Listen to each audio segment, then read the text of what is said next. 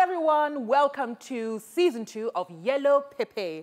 My name is Anita Erskine and I play Anna from Ghana, the beautiful country nestled on the coast of West Africa and of course, home to the shining black star.